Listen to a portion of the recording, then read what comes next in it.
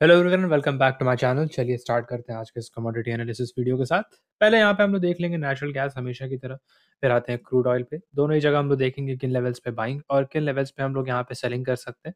But उससे पहले obviously एक बार फिर से हम लोग यहाँ पे चेक करेंगे कि कल के मार्केट में हम लोग ने यहाँ पे क्या डिस्कशन किया था और मार्केट में फिर वैसा मोमेंटम हम लोग को अल्टीमेटली मिल पाया या नहीं।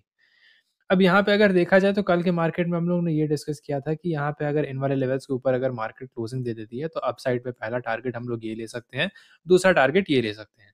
लेकिन अगर देखा जाए तो पहले टारगेट के बाद यहाँ पे रिजेक्शन हम लोग को मिलने लगा था तो यहाँ पे अगर आप लोग ट्रेड लिए होगे तो एक प्रॉफिटेबल ट्रेड मिली होगी, भले ही थोड़ी सी छोटी ट्रेड मिली। उसके बाद अगर देखा जाए तो उसके बाद सेकंड ट्रेड अगर देखो तो हम लोगों ने फिर ये भी यहाँ पर डिस्कस किया था कि डाउन साइड इन वाले लेवल्स के नीचे हम लोग ट्रेड ले सकते हैं।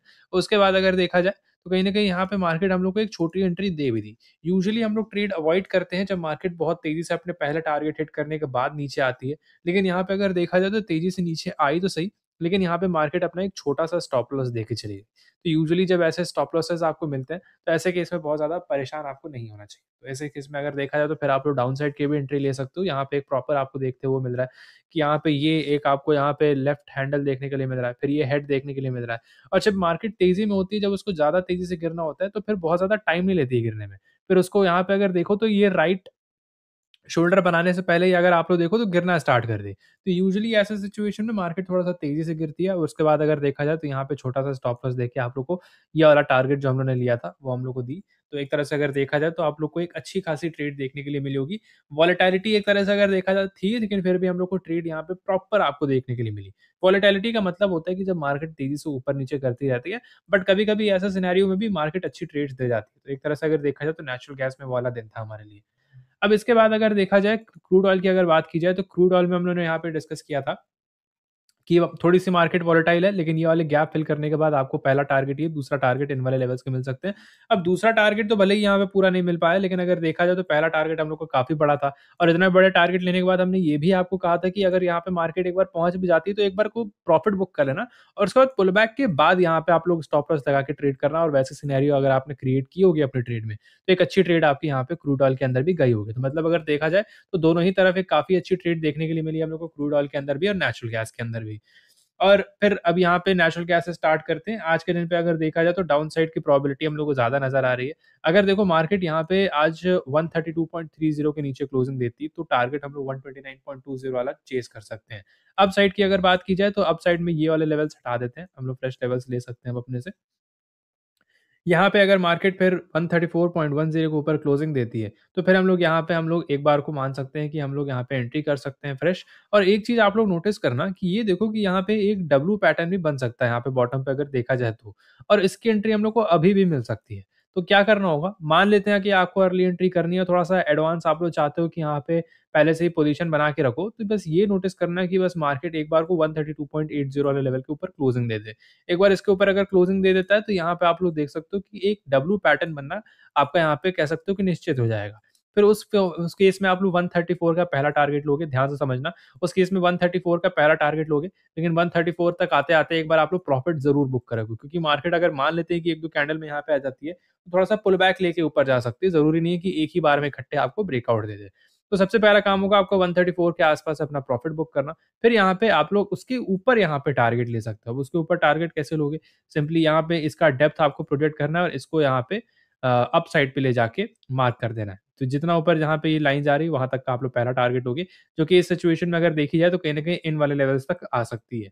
अब ये करना क्यों ज़रूरी था? अगर ये नहीं करोगे तो थोड़ी सी कंफ्यूजन क्रिएट होगी क्योंकि यहाँ पे भी एक छोटा सा लेवल है बट इतना छोटा टारगेट लेने को कोई फ़ायदा बनता नहीं कोई मत, मतलब कह सकते हो कि कोई मतलब वहाँ पे होता ही नहीं क्योंकि इतना छोटा टारगेट अगर आप लोग ले रहे हो तो वहाँ पे आप लोग 500-600 रुपए पर लॉट कमाते ही वहाँ पे ट्रेड बंद हो जाएगी तो इनसिग्निफिकेंट ट्रेड होती है। इतना बड़ा तो मतलब ऑलमोस्ट कह लो स्टॉप लॉस ना मिल जाए आपको। तो यहाँ पे आपका पहला टारगेट 134 का होगा, दूसरा टारगेट 136 का हो सकता है। फर्दर और टारगेट एक्सटेंड करना है तो यहाँ पे इस केस में आप लोग और 137 तक का टारगेट ले सकते हो।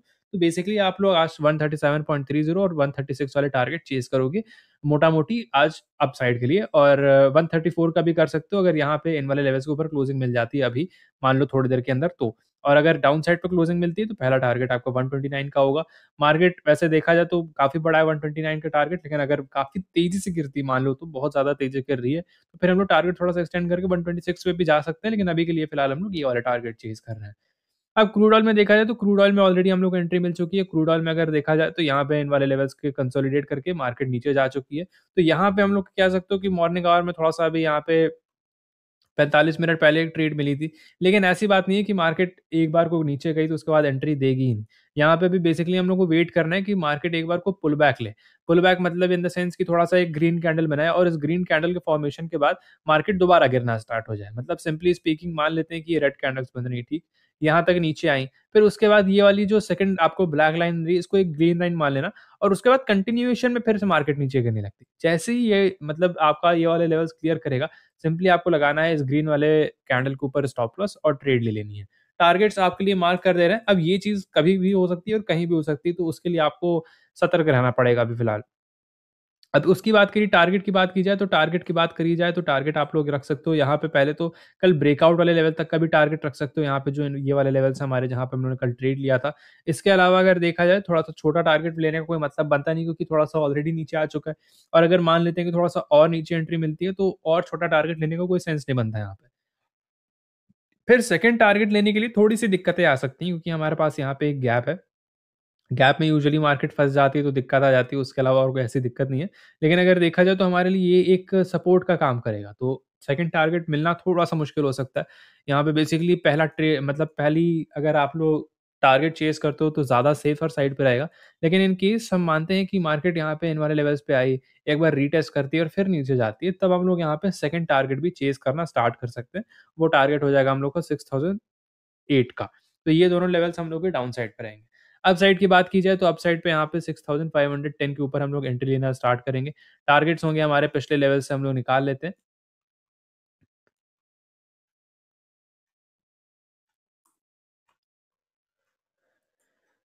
टारगेट यहाँ पे अगर देखा जाए तो सोलो अगर देखा जाए तो अकेला एक छोटा-सा मतलब छोटा-सा नहीं बड़ा-सा टारगेट है वैसा तो। अगर देखा जाए तो आप लोग 6117 तक का टारगेट लेके निकल सकते हो। यहाँ पे अगर देखा जाए तो डिसेंट टारगेट है और एक अच्छा टारगेट है, लंबा टारगेट है तो अभी एक लेवल का मतलब टारगेट आप लोग यहाँ पे चेस कर सकते हो। दूसरा लेवल टारगेट हम लोग बाद में लेंगे। मतलब एक तरह से अगर देखी जाए तो अच्छी खासी ट्रेड हम लोग को दोनों तरफ़ देखने के लिए मिल सकती है। क्रूड ऑयल और नेचुरल गैस दोनों में अच्छे चार्ट नज़र आ रहे हैं, तो दोनों पे हम कहेंगे कि नज़र रखना अपनी। फ़िलहाल इसी के साथ चलेंगे, मिलेंगे अगले वीडियो में। वीडियो अगर अच्छी लगी तो वीडियो को लाइक करना, शेयर करना और साथ ही साथ चैनल को सब्सक्राइब ज़रूर कर देना। Okay bye.